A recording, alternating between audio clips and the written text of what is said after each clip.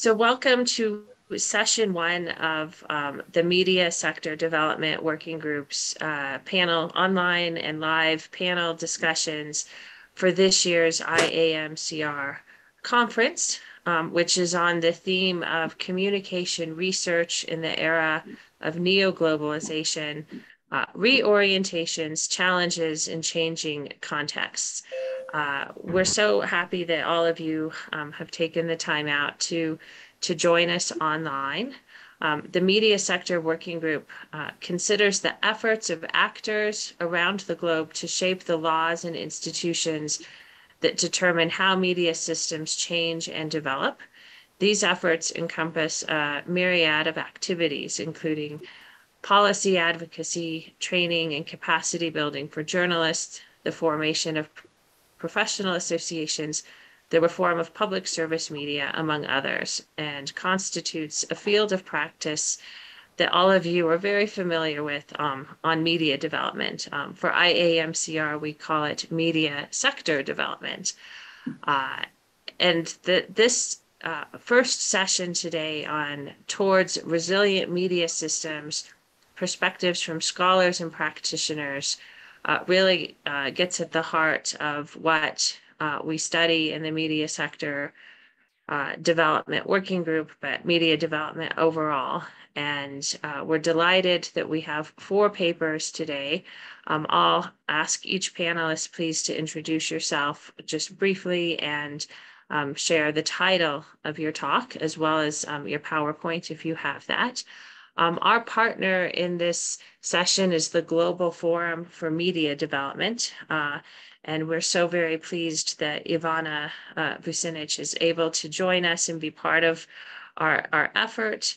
Uh, GFMD has been a wonderful collaborator and partner for our working group, and there are going to be some really great opportunities for members of our working group to get involved in IAMCR's uh, Media Impact Hub, um, as well as if you haven't, you should register for the consulting pool and the international network or database of researchers.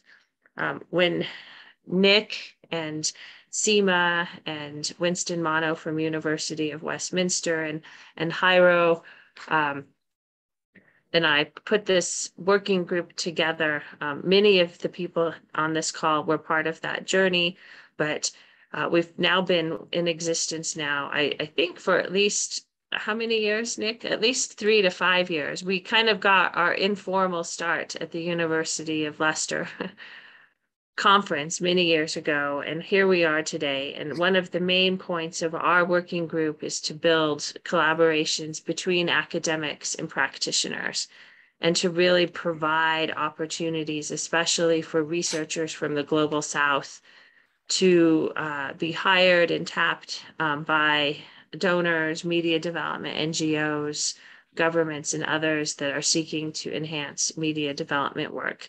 And GFMD certainly um, has helped to support that type of collaboration. Uh, Ivana, do you want to say a few words about, GFMD? Yes, of course. Thank you, Susan. We're very pleased to welcome you all to this co-organized uh, event today. We are an international network of around now, uh, it's already 120, 120 journalism support and media development organizations. Uh, and our members are working in around 50 countries.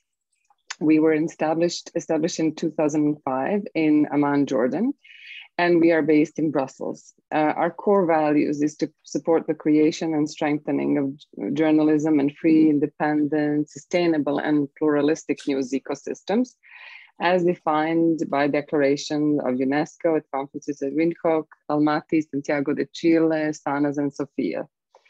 Uh, GFMD's main focus is to ensure proper collaboration as well as exchange of information and experience among its members with a view to creating a strong, independent, and pluralistic media environment. Now, Susan mentioned something about the International Media Policy and Advisory Center. This is an initiative that was launched last year. It was our pilot year. And the initiative aims to assist donors, funders, policymakers, practitioners, and other stakeholders in making informed, evidence-based, which is important for this group here, I think, um, decisions on strategies, programming, funding, and advocacy for media development and journalism support. This is a collaborative learning and exchange project uh, designed to bring together three groups, three main groups of stakeholders. Uh, our members, which are media development and journalism support groups, donors and funder organizations, and academic and research institutions where IAMCR Media Sector Development Group comes in, and they are one of the key partners. I can only reiterate what Susan, Susan mentioned, very important partner for GFMD Impact.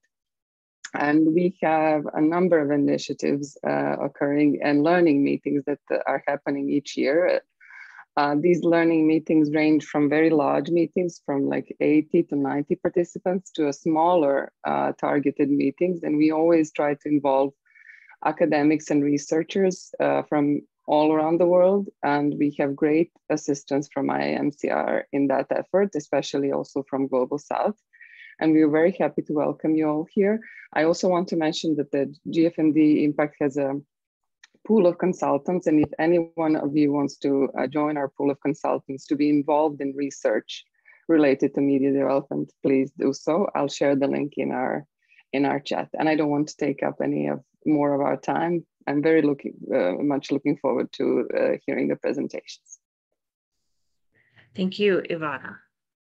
So our, our first speaker is Dr. Ana Jacoby. So over to you, Anna, and you'll have the floor for 10 minutes.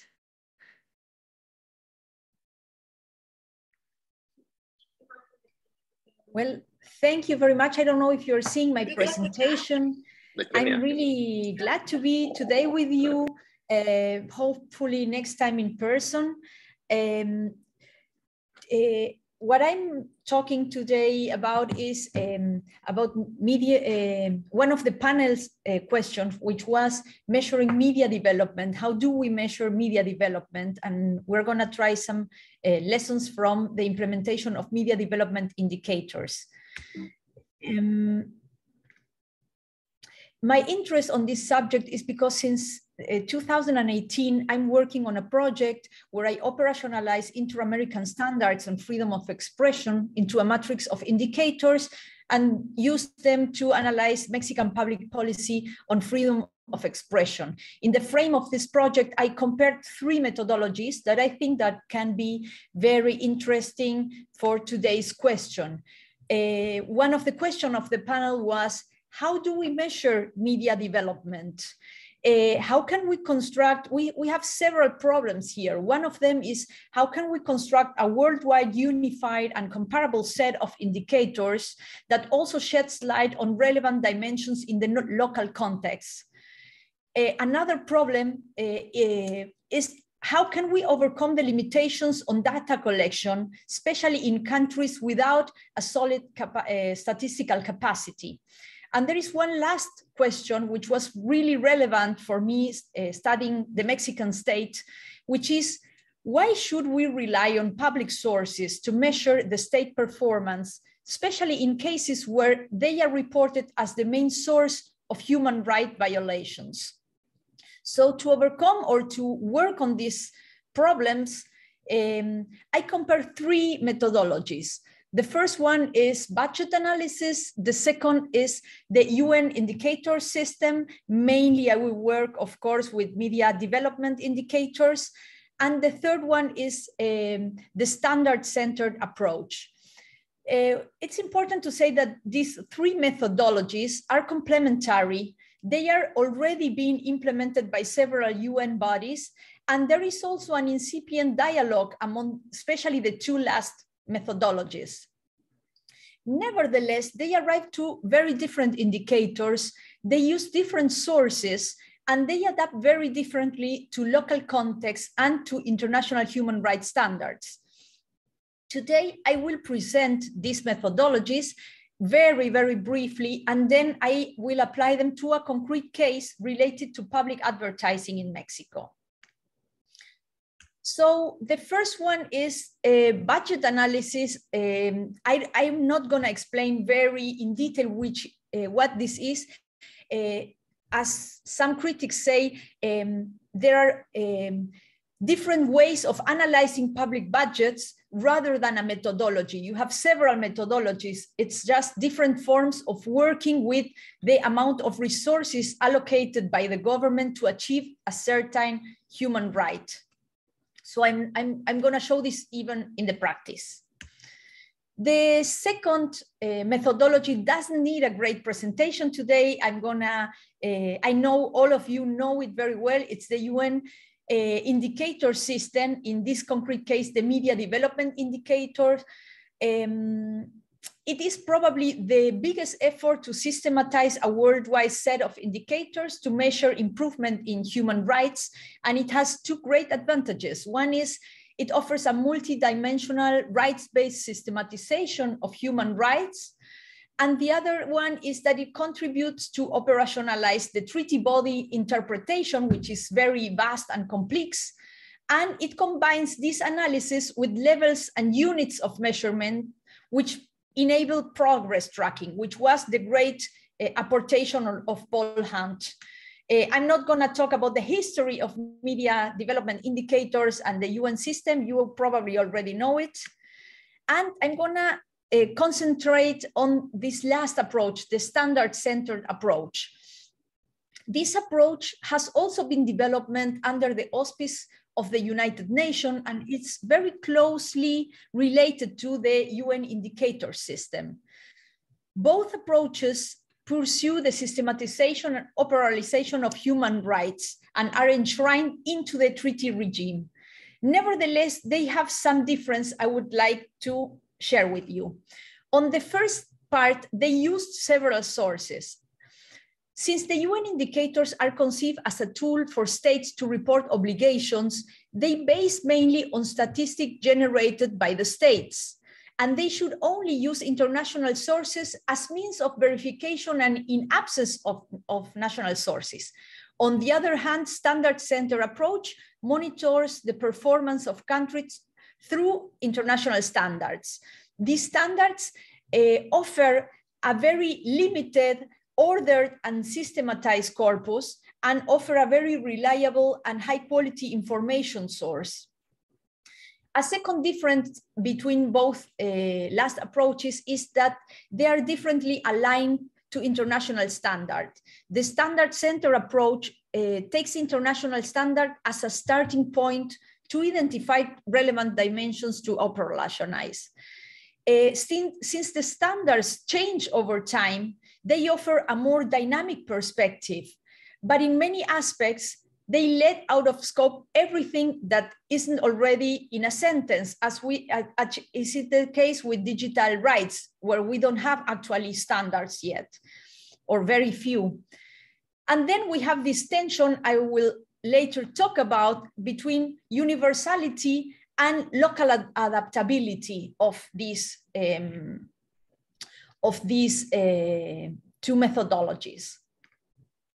Uh, in this second part, I'm going to talk about the indicators we can construct with both methodologies. Um, on the one side, we have a budget analysis. Oh, sorry. We have budget analysis um, and we can see things as the expenditure of, on public advertising from the Mexican government compared to other countries, which is really huge in amounts. Uh, we can also see how concentrated the uh, public advertising is in 10 uh, in the first 10 suppliers that receive half of the publicity. Uh, I would like to have a lot of time to talk about this uh, uh, this slide, but I'm gonna have to skip it. Here I show how I uh, constructed every indicator with the three different methodologies. In the second case, uh, it is actually the, the media development indicators, the budget analysis I told you about, and you can see the other in my, my paper. But to finish this presentation, I made a, little um, synthesis of it. Um, as you can see, budget analysis uses very different indicators and sheds light on different things. But if you compare some standard-centered approach and media development indicators, both speak about having a legal framework to regulate public advertising with clear rules, with allocation criteria, and with procedures for its application. Um, both talk also about clear information in public advertising without political orientation. And in the case of media development indicators, they are very concerned about misleading advertising. Both talk about having an autonomous body uh, to monitor the allocation of publicity. Uh, and they talk about uh, having fair, transparent, public and non-discriminatory procedures for this allocation. There are two very important differences among the approaches. Um, in the standard center approach, they talk about having sanctions in the legal framework uh, in case that they don't uh, meet, uh, use these criteria and the MDIs don't contemplate this. And um, they talk about having explicit and objective parameters for the allocation of publicity, like the size, the audience, profile, the price, and this isn't also present in the media development indicators. Budget analysis offers a very different approach and is focused in a very important issue like the having ceilings or floor for the expenditure on public advertising or having a limit to the concentration of, of public advertising. These two things aren't present in the other two uh, perspectives. And uh, the last two aspects are really very relevant since they uh, since they um, uh, since uh, in the in the case of the media development, uh, they talk about limits in advertising content, and in the case of standard center approach, they are against of all forms of content regulation. This is very important within the inter-American system. Um, and there's also a very Eh, important difference, which is the role of public advertising when promoting pluralism, media sustainability, and program quality. This is very, very important in the African context, probably, where there are not eh, a lot of resources for the for the media but in the, in the inter-American context, they say that states must never use government, government advertising as a subsidy to avoid manipulation, which is a great problem in uh, the inter-American context. Uh, let me finish with these four conclusions. Uh, each methodology arrives to different but complementary indicators. Uh, the MDI um, is a very good methodology to control um, for, uh, to, for state reporting, while standard center approach helps us control the states through observation of special rapporteurs and committees. Uh, MDIs permit a worldwide comparison, while standard center approach adapt better to international human rights standards, to local context, and to changes over time. And last, the standard center approach can overcome limitations on official sources by using a very limited and systematized corpus that offers reliable and high quality information since they are based on an exhaustive doctrinal debate among international courts for the indicators and the observation on UN committees and special rapporteurs for the empirical contrast. Thank you very much. And I hope to have the, uh, later a discussion on, on the paper with you. Thank you so much, Ana. That was really great, very helpful. Um, if you have any questions at this time, maybe type them into the chat or save them um, for the end. Uh, we're going to go through all of the papers uh, before then launching into a Q&A and a discussion. Uh, Nick, did you want to say something? Oh, okay. Oh, clapping thing. Great. Our next uh, paper uh, is from Anja and Melanie and uh, Anke. Uh, okay, thank you.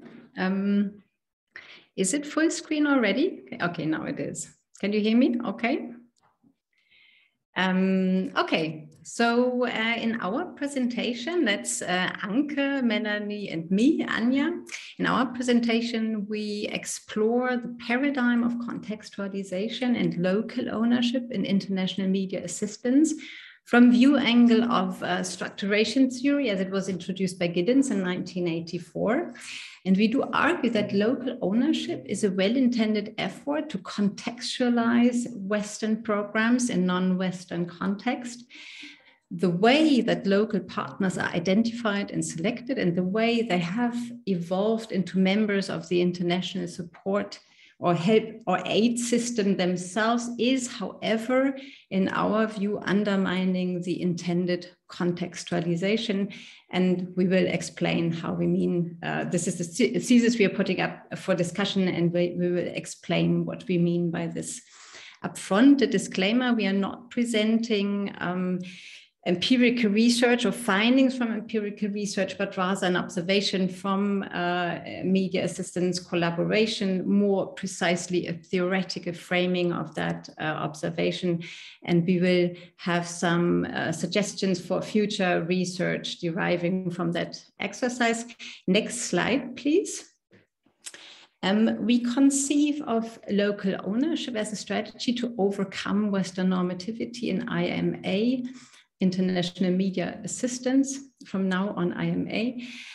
Its heavy reliance on Western based models and Western based templates. And as such, local ownership is also a response to an accusation that IMA is perpetuating colonial North South imbalance of power uh, local ownership is also uh, meant as um, improvement of effectiveness of aid programs because the past three decades or so have clearly shown that poorly or not at all adapted Western templates uh, uh fail to solve local communication problems in non-Western context.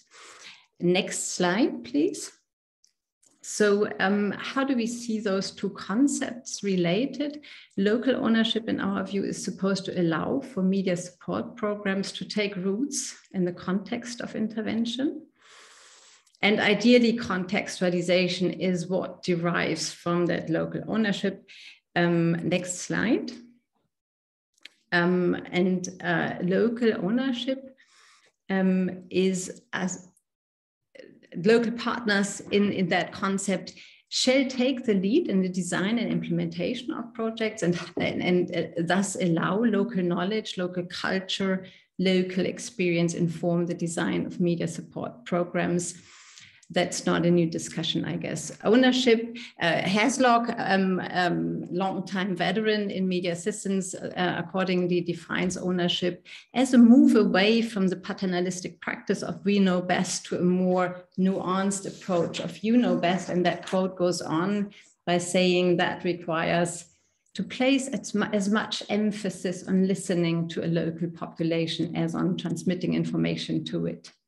So I guess it's safe to say that local ownership has become actually paradigmatic principle in, uh, in international media assistance.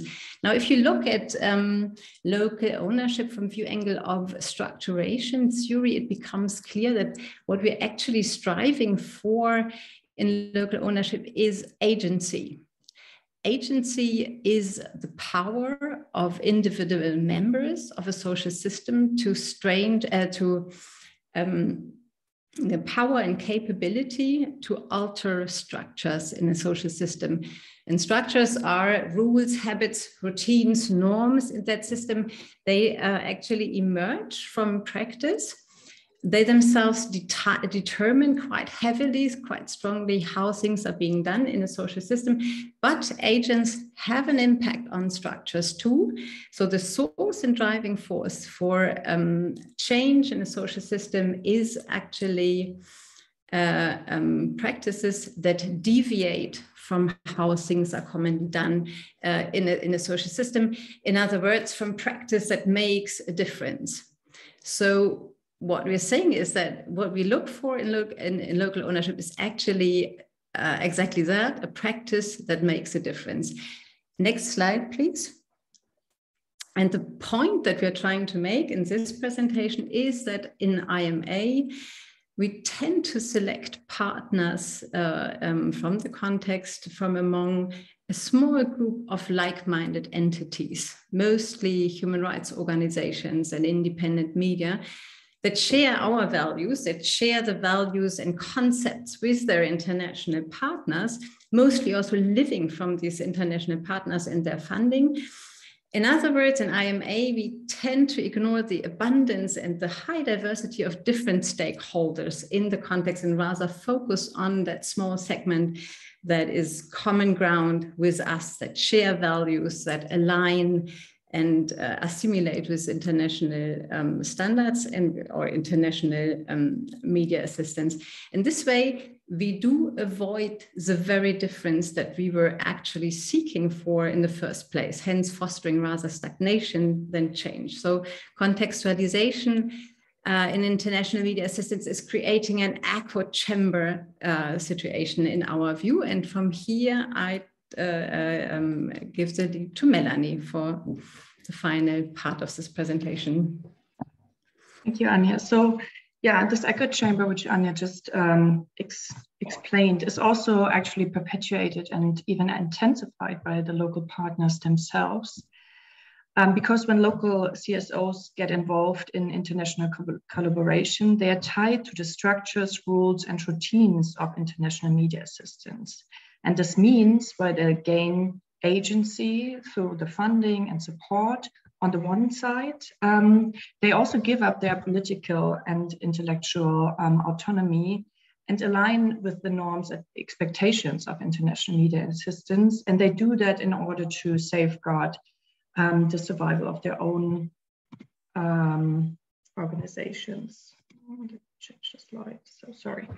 Um, so this dependency of local um, CSOs on international donors nurtures actually their tendency to emphasize uh, more on the alignment and common ground rather than the differences and contradictions with uh, international media assistance organizations.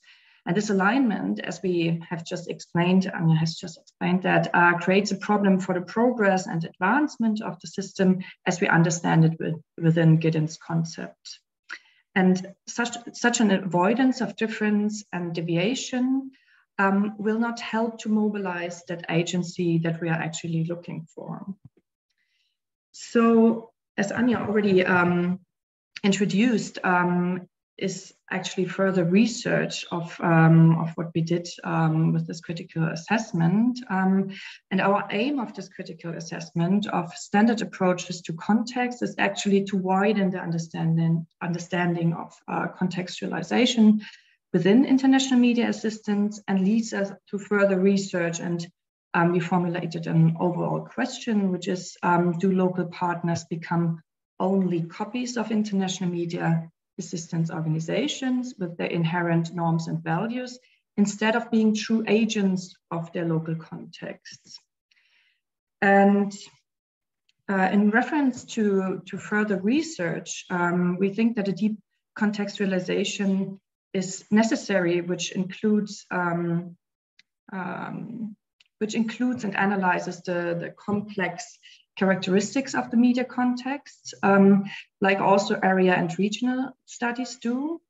Um, and they do that by means of multifaceted and qualitative approaches.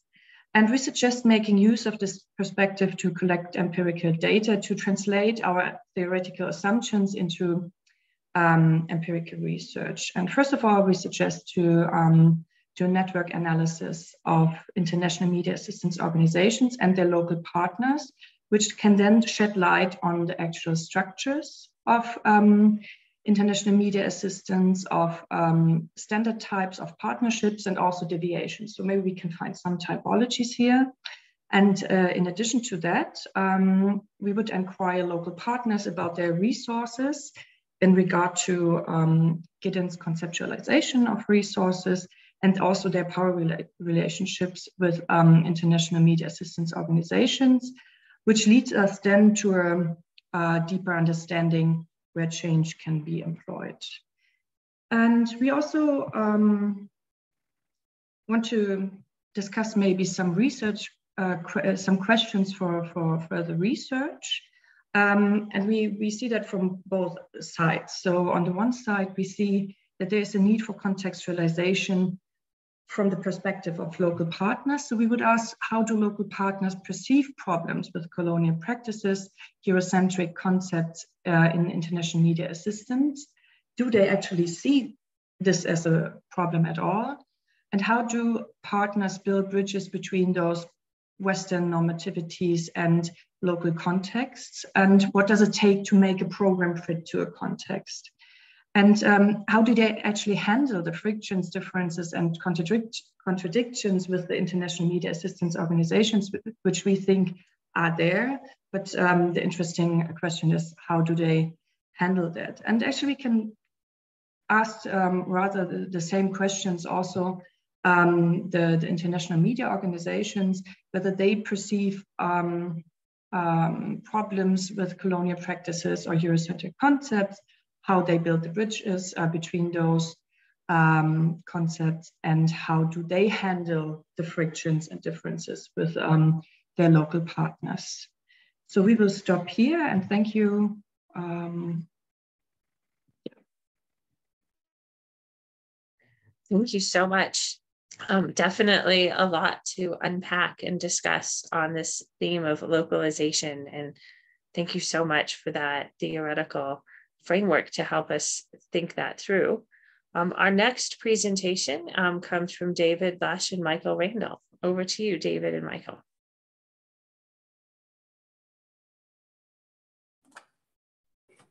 Very much indeed, and hopefully our presentation uh, is actually going to perhaps illustrate a lot of the issues we just heard about in Anja and Melanie's uh, uh, presentation, uh, how they sort of play out in in in practice. Um,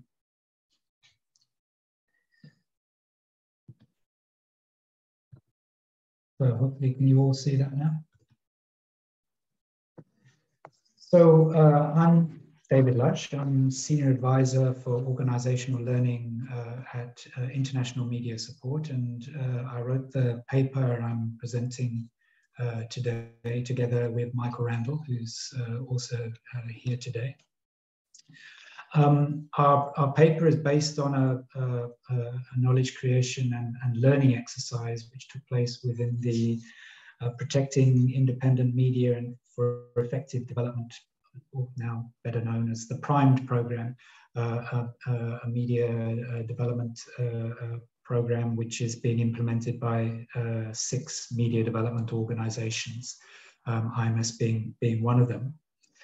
And our paper looks at, uh, at, at, coalitions um, and what they are, what they do, and how they contribute uh, to, to, to media, uh, media development. Um, so this is what we, we, we mean by, by, by coalitions. We've uh, sort of emphasis added to sort of perhaps highlight um, some of the key factors that, that, that, that uh, we see them as, as, as, as, temporary in that they last as long as it takes to, to reach, uh, to achieve um, a set of common goals, um, which um, is, is, is done through sort of the collective action of a, a variety of different actors with, with, with different interests. So this is very much about bringing people with different interests uh, together around uh, or, uh, different types of organizations uh, uh, and uh, together to, to and, and, and then coming together around a, a, something of, of, shared interest, which they then try to advocate or bring about together. And um, coalitions have sort of been instrumental in pushing for the opening up of, of, media systems in different parts of the world. Um, we, in our paper, we refer to the, the, example of the campaigns for open media and independent broadcasting, uh, which took place in South Africa in the early 90s, which uh, um, really sort of set the ground or, or paved the way for what became uh, the, uh, uh, the, the, a, a, very progressive post-apartheid media system within that country. And sort of more, more recently, um, coalitions are sort of increasingly seen as, as, as a promising way to build strategies for survival for public interest media, as many of those, uh, many of the spaces for, for public interest media uh, are, uh, shrink around the world.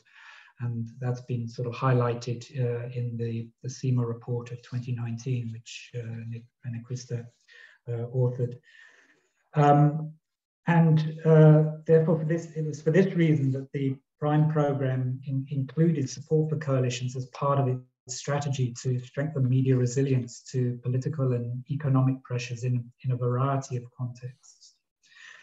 And it was uh, therefore in, in, in, in our, our, our, our, we were looking to sort of better understand the processes and uh, that led to the formation and evolution of coalitions what works, what doesn't work, and therefore what should we as, as media development agencies and our partners, um, what, what sort of approaches should we take? And uh, therefore we, we refer to this as, as, as coalition building. Um, just to sort of set the scene, this is a, a quick overview of the PRIME program. Um, and uh, it, uh, part of the PRIME program, it does have a very strong learning and knowledge creation and learning component because it, it is looking to sort of inform um, and contribute to uh, sort of uh, sort of media uh, development policy and practice going forward. And ours is, is, is one of five learning questions which uh, different members of the, um, the consortium uh, for, of the PRIME consortium are, are, are looking to uh, investigate. So really what, what, what we're talking about, uh, our, our, paper is based on what it was in, is in effect up until now being primarily a, a, program design process. We were looking to bring together existing learning, knowledge and learning about uh, coalition uh, building, which uh, members of the, the PRIME consortium had, had, had been involved in. And um, and to sort of use that that that that that that uh, that, that existing knowledge to sort of uh, inform how we uh, design the interventions for for um, the, uh, the, the, the, the, coalition building initiatives supported by the Prime program um, in uh, Bangladesh, Ethiopia, and Sierra Leone. Um, so um, so so up, up, until now it's not uh, it's, it's, it's not sort of been based uh, we, we we started with a review of uh, evaluation reports to see what we could glean from those and then uh, uh, had a workshop of, of implementing organizations and our partners to sort of make sense of that and to see what what we could take away in terms of how we should approach coalition building within within the prime program. Um, as the program goes on in the next year or so, we're, we we, we see that uh, our monitoring and evaluation will, will give us evidence to how these initiatives are playing out in the, in the program countries. And we hope that this will then uh, further inform sort of media development policy and practice um, going forward.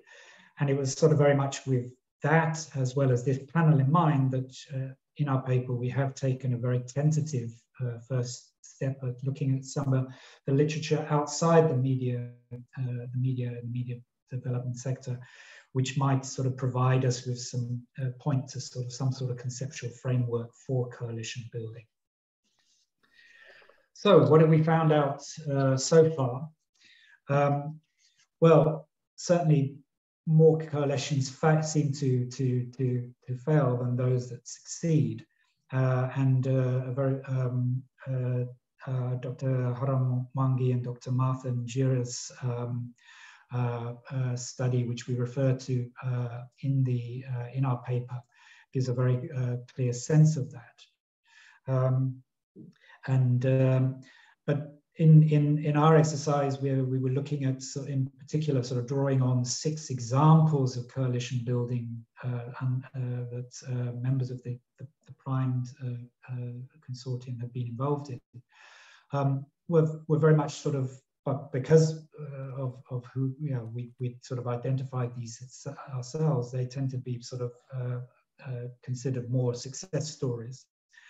And certainly uh, the impact of these coalitions uh, that we examined uh, have, have had does suggest that sort of coalition building uh, should be taken seriously as a media development strategy. I mean, you had examples of uh, coalitions sort of contributing to constitutional change and the gradual opening up of a highly restricted media sector in, in Zimbabwe, progressive reforms in uh, uh, contributing to progressive uh, law reforms in Pakistan, Zambia, and Kenya, um, effectively pushing back against restrictions in, in, in some of these country, countries, uh, as well as helping to sort of create trust and collaboration between media in what are very polarized and volatile environments. Um, so plenty, plenty to be said for, for coalition building. Um, it's far too early to say whether or not the fledgling coalitions uh, the Prime program is supporting uh, within Ethiopia, Bangladesh, and Sierra Leone are, are, likely to have a similar impact. And that's very much because we've, sort of found through, through this uh, exercise so far that coalition building does take a, a, a long time um, sort of the terms that, uh, sort of stood out, uh, sort of stand out from the discussions within the between the partners in, in, in the workshop, participants in the workshop. Sort of, it's very much coalition building is about sort of organic growth, leading to uh, with a with an incremental approach, which is very much about securing consensus, um, building confidence, and being requiring a lot of flexibility. Um, and therefore, coalition building in many respects does run, sort of counter to the practice of, of conventional media development organizations like my, mine and the other ones implementing um, the, the, the, the, Prime program.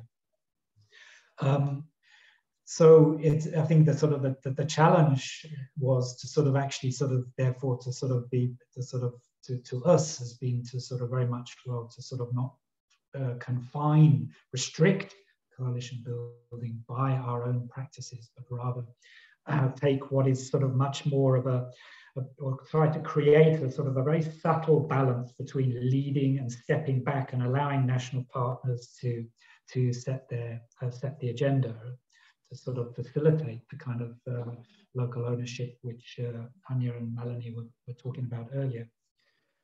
This requires nurturing strong and trusting relationships with and between coalition partners and being highly in tune with the development on the ground. Another reason why you need the, the, the, the, the national and, and uh, uh, the coalition members to, to take the lead.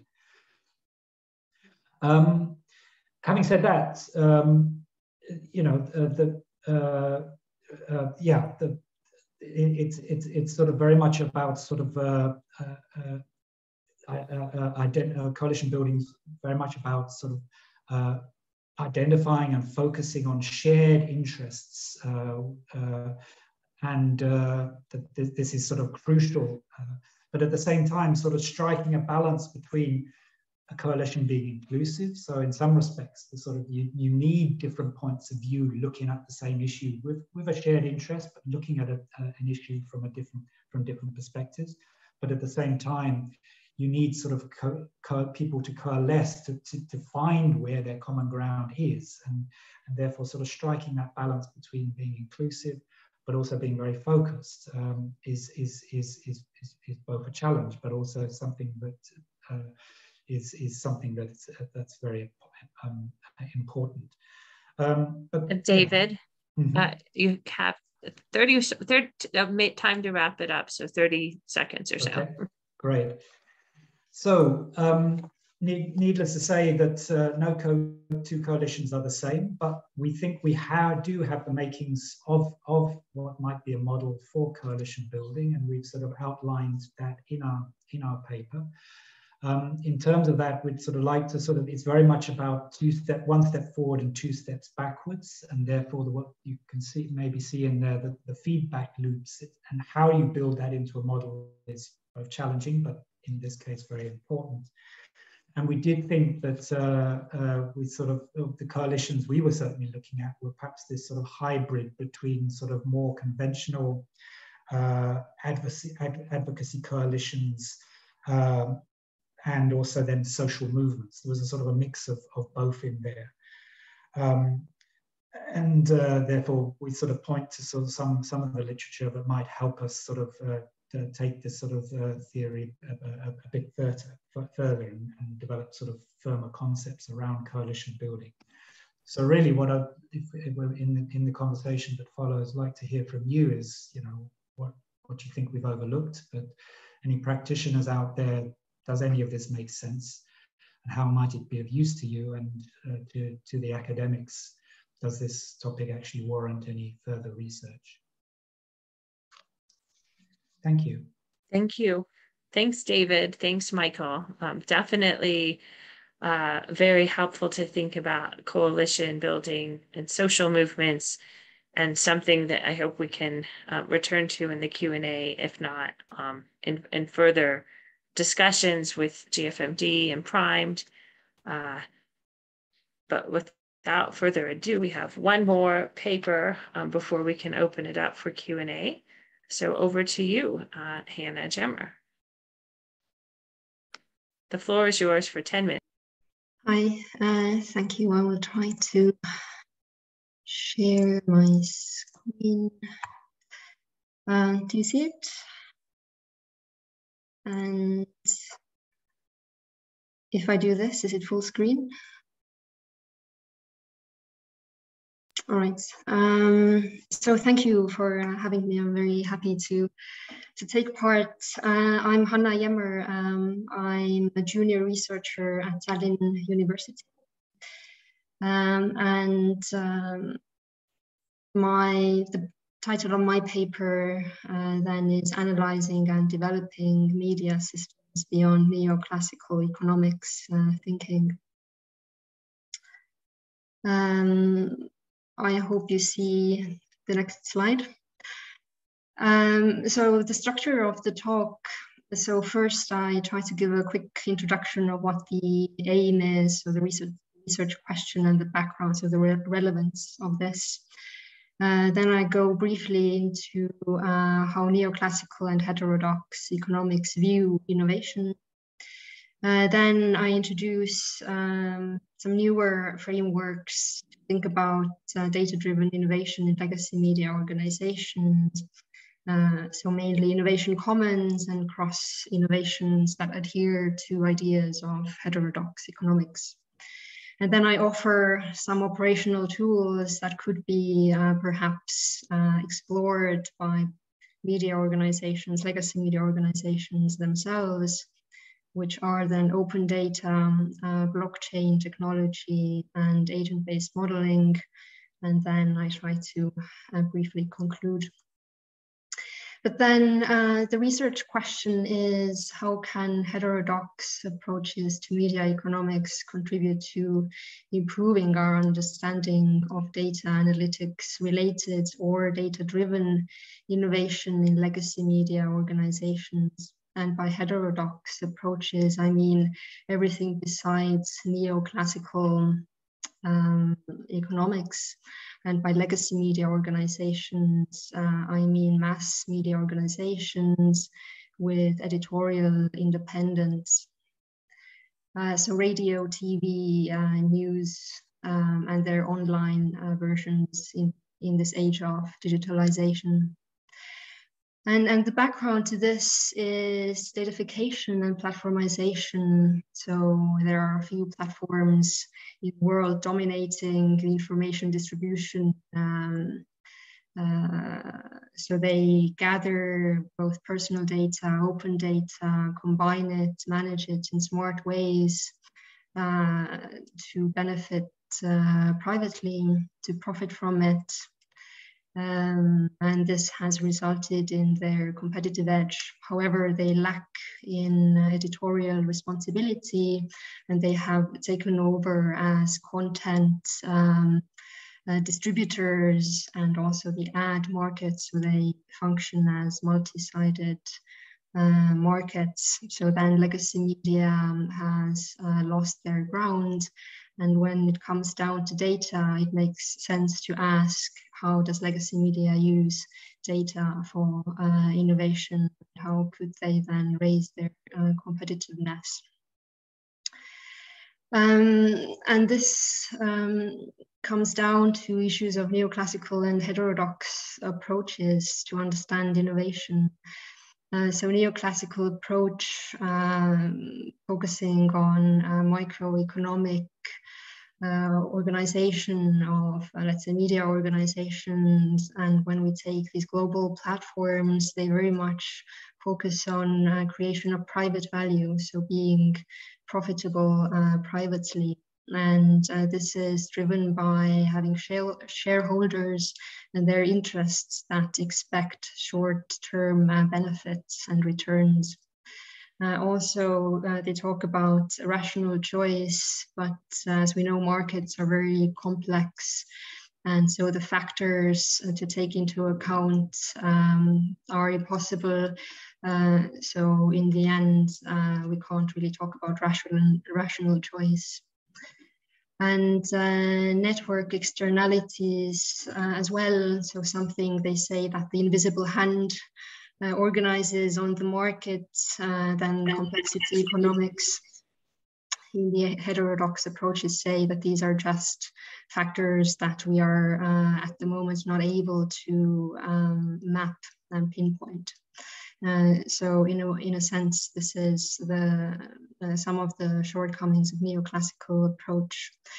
Uh, but then why, when we talk about legacy media, why does it fit better uh, with heterodox approaches?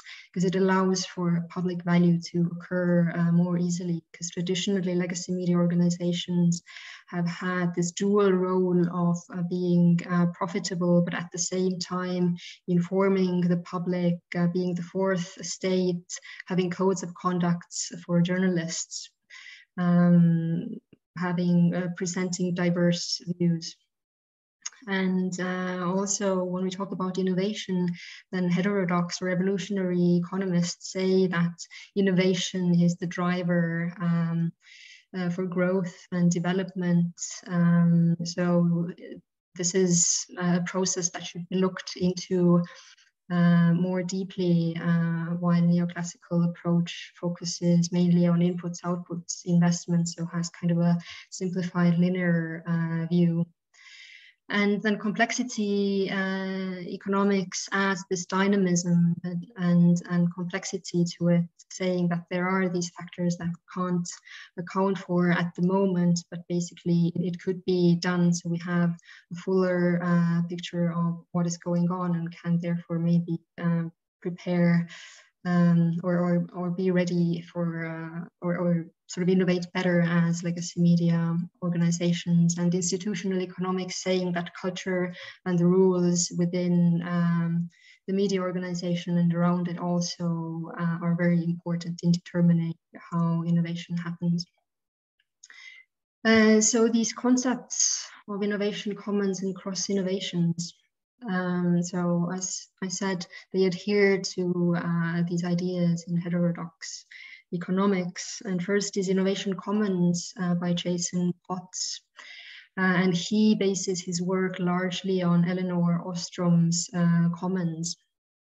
And uh, what he uh, basically says is that it's uh, bottom up processes. So, activism and enthusiasm on the micro level when people with different expertise come together um, to, to face an issue and then gathering and coordinating, uh, overcoming um, uh, these problems and as it is a bottom-up process, then it has this democratization element uh, to it. And uh, of course, there are rules.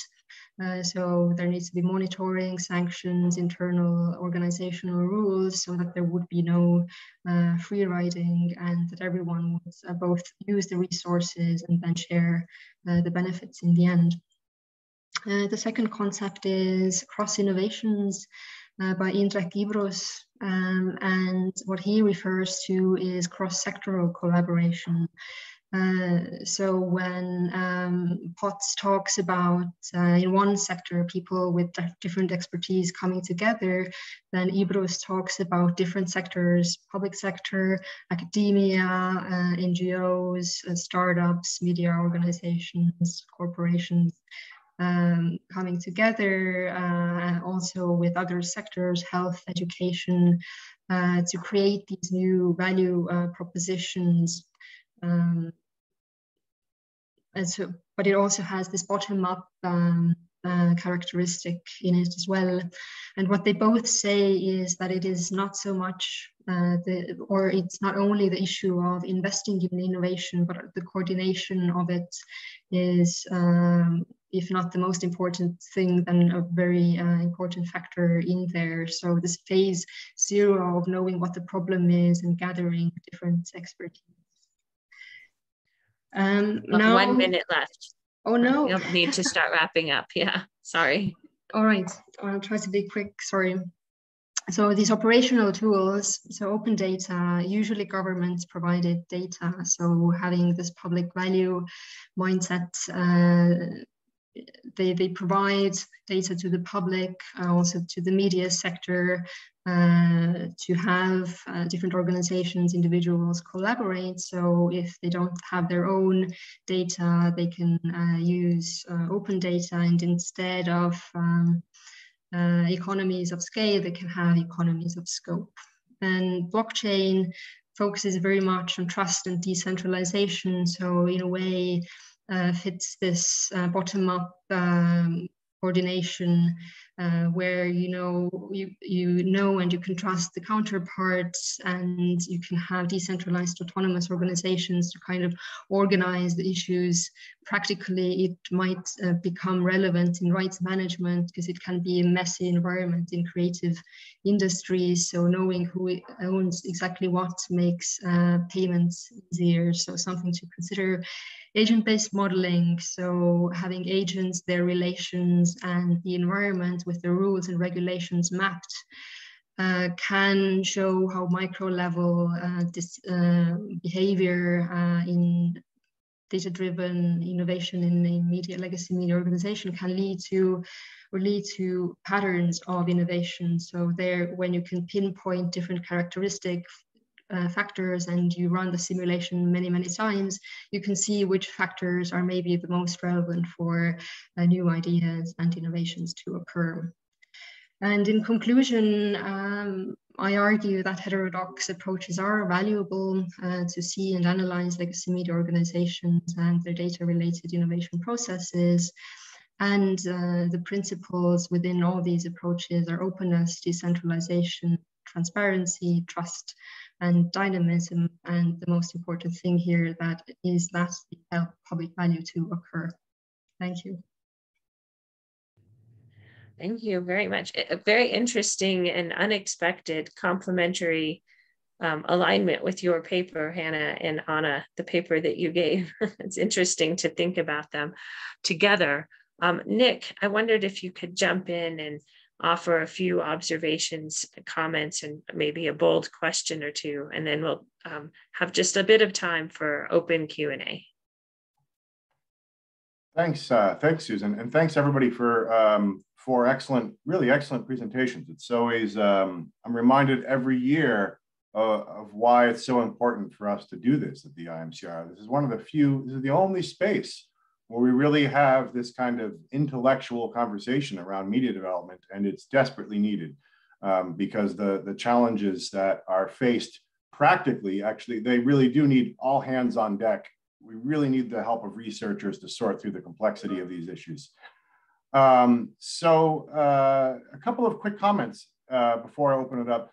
Um, for Ana, you know, I think this uh, really intrigued by, I think the conclusion that you're reaching about standard centered approaches being perhaps uh, what I gleaned from it, maybe our best opportunity for uh, kind of contextually driven, impactful measurement of media development.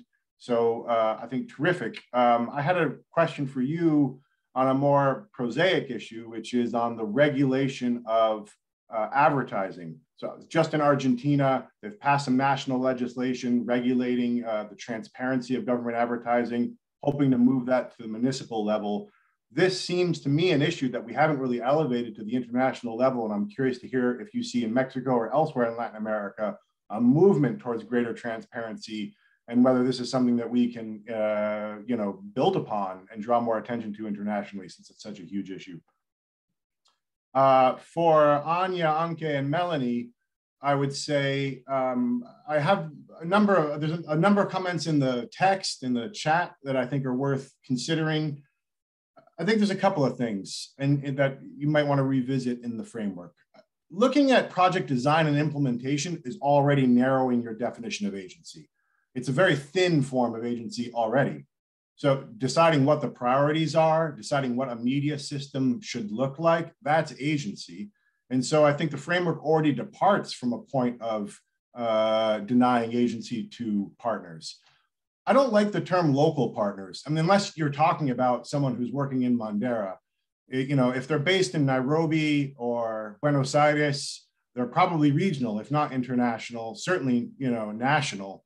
Uh, local, I think, you know, from my standpoint, has always been the, the very small community-based organizations. So being clear about who you're talking about, I think would be helpful.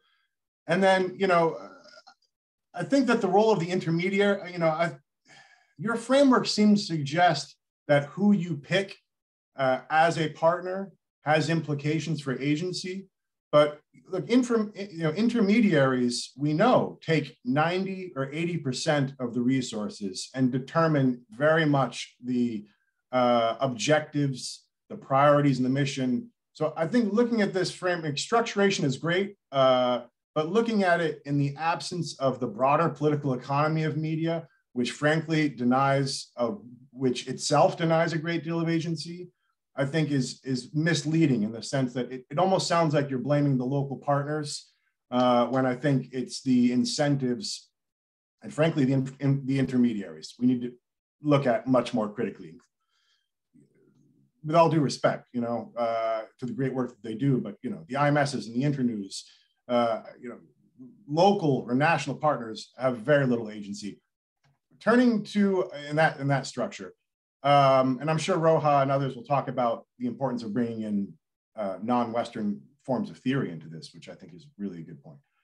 Um, on the coalitions for change, I do think this actually, these, these two papers do speak to each other.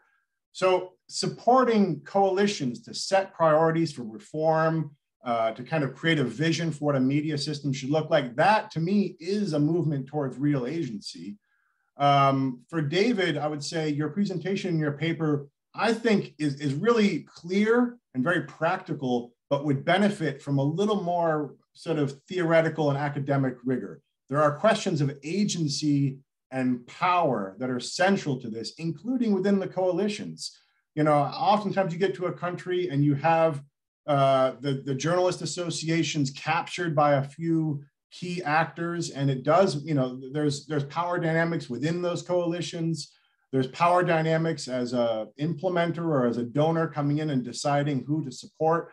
These are really difficult things to unravel.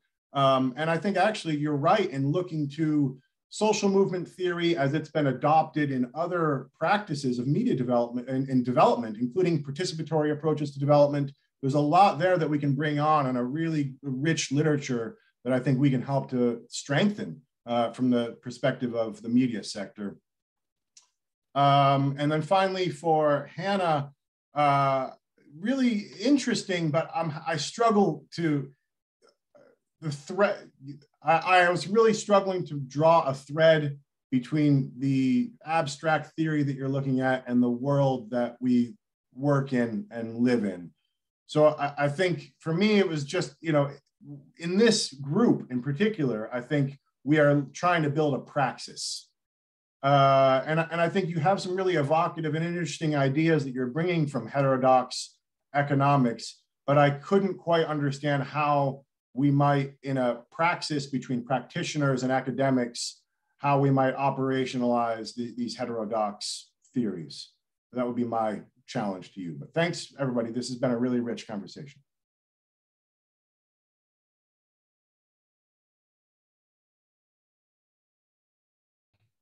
Wonderful. Wow. Thank you, Nick. That was really helpful and amazing. You were able to do that so quickly on the fly. So thank you. Uh, we have time for a few questions or responses from the panelists. Uh, we have a great uh, discussion going on in the chat. Um, does anyone have um, any burning questions that they would like to ask to the panelists?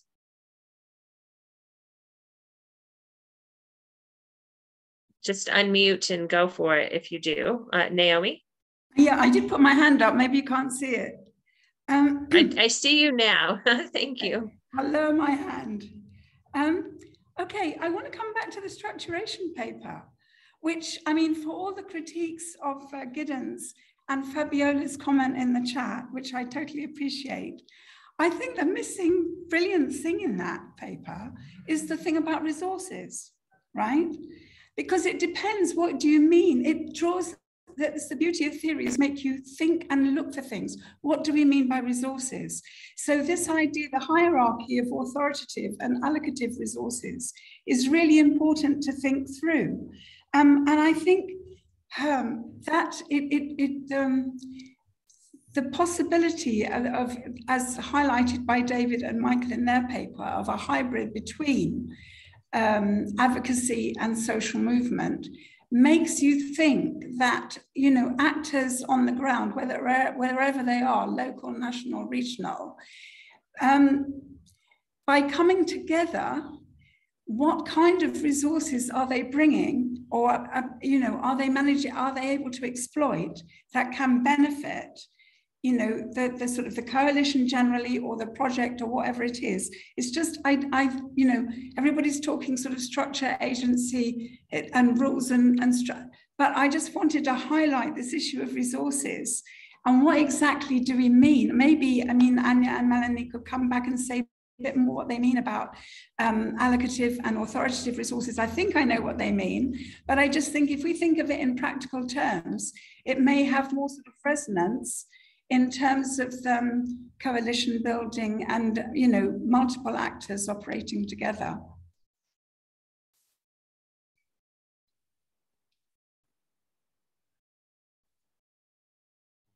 Any responses from the panel?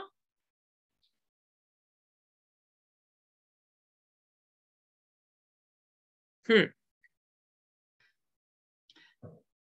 Right. Um, Anke. Anke is actually our um, um, expert on, on the on the theoretical um, part. So I wonder whether um, she wants to jump in. Um, but maybe from my side first. Um, uh, first of all, thank you for the comments. I, I think it's very helpful also um, uh, on the uh, theoretical concept. And um, maybe also on uh, the, the comment of Roja, of course, um, this is something we we um, we plan to do, right? So um, those questions and further research we have in mind is uh, uh, not meant to be um, from a Western normative perspective. So I mean that would would undermine everything we, have just said.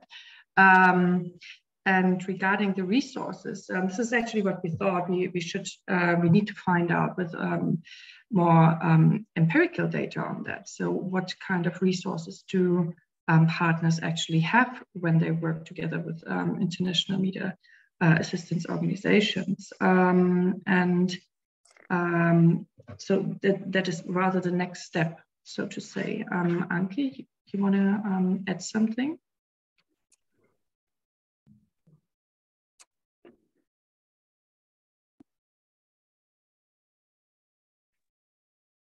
Um, is Anke, shall I jump in quickly? Okay. Uh, yeah, thanks for your comments on the um, uh, on, on, our presentation. Um, to um, uh, to the question of of um, that uh, Nick raised regarding the the intermediaries or who's to blame for this i mean i don't think that anyone is really to be blamed that wasn't the purpose of the of the presentation at all it's just that it's our just our observation that everyone is seeking for um, uh, um, this similarities, the assimilation, the like-minded, the shared values. So, um, and that was the point of our presentation, and that's what everyone does together. It's just that it, it's totally and understandable because it allows projects to run smoothly. It allows programs to run smoothly if it's um, organized and managed among like-minded partners. But what we um, what we uh, miss out and we, we, we, don't seize the opportunity for innovation um, if we focus on shared values and common ground and and uh, that is something we do together. I don't think that any party is to be blamed here. It's just that effectiveness um, uh, for, for projects and pro programs to run smoothly drives that tendency. But if you want to change and advance and programs the systems, if you look for more, uh, for deeper contextualization, then we uh, have to focus and dedicate resources to exploration of difference, of friction, of contradiction, of practice that makes a difference. And that is where, um, uh, where the argument goes to. And that is also an answer to the question about resources. We cannot change the fact that resources are allocated asymmetrically between the North and the South. That's obvious. But we can um, organize the, the allocation of resources and can redirected to explore and focus more on difference and friction rather than alignment and, and shared grounds. Um, and that that's um, uh, yeah, that would be my my comment on that.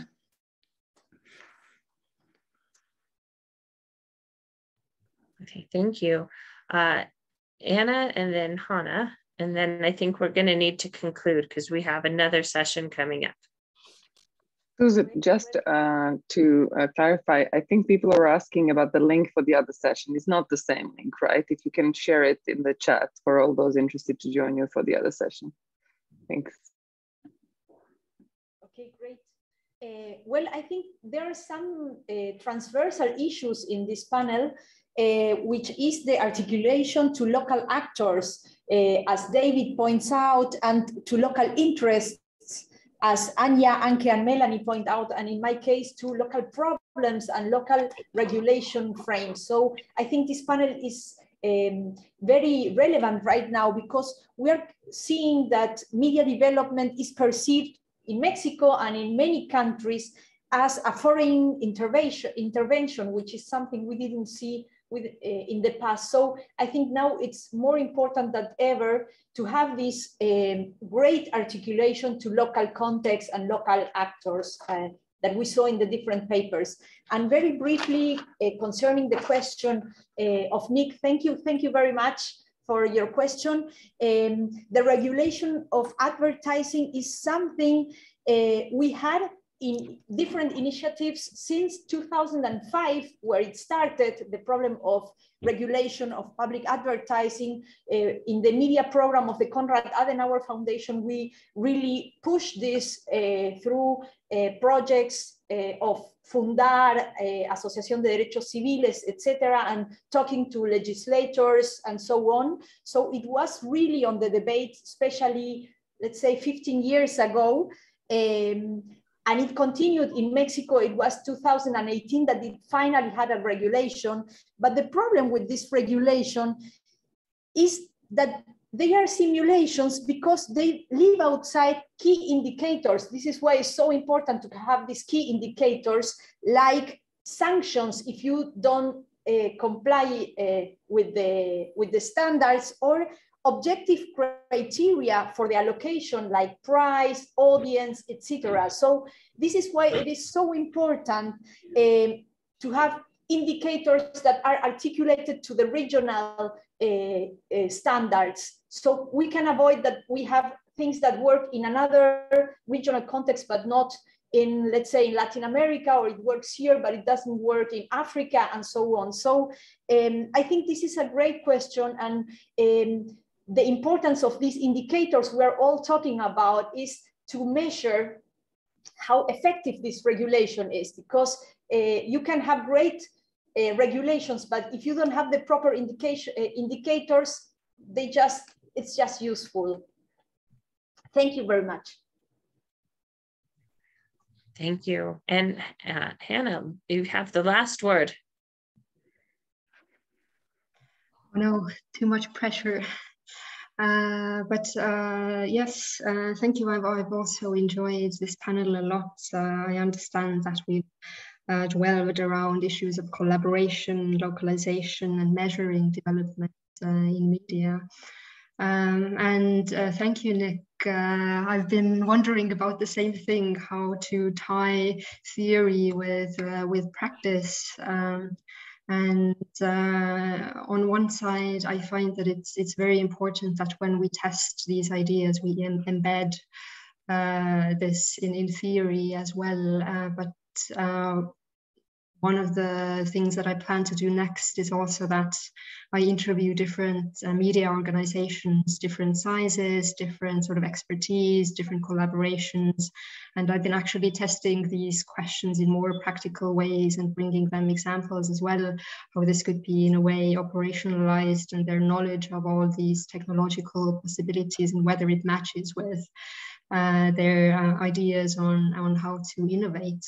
So in a sense, it's a work in, in prog progress indeed, uh, but uh, working uh, towards, uh, yes, more practical ways of approaching this. So thank you. Wonderful. Well, I wish we could stay on longer and continue discussing and debating these things but hopefully we can stay in touch. Uh, if you are not part of our list serve for the Media Development Researchers Network, uh, get in touch with Nick or I and we can add you to those lists. Um, please do stay in touch with the Global Forum for Media Development. And uh, if you're joining us for the next panel, um, see you in about 12 minutes. Uh, so without further ado, our session one is concluding now. Thank you for joining us, and we hope to see you in person at the IAMCR conference next year, wherever it will be. Right. Thank you. Bye. Thank you, everyone.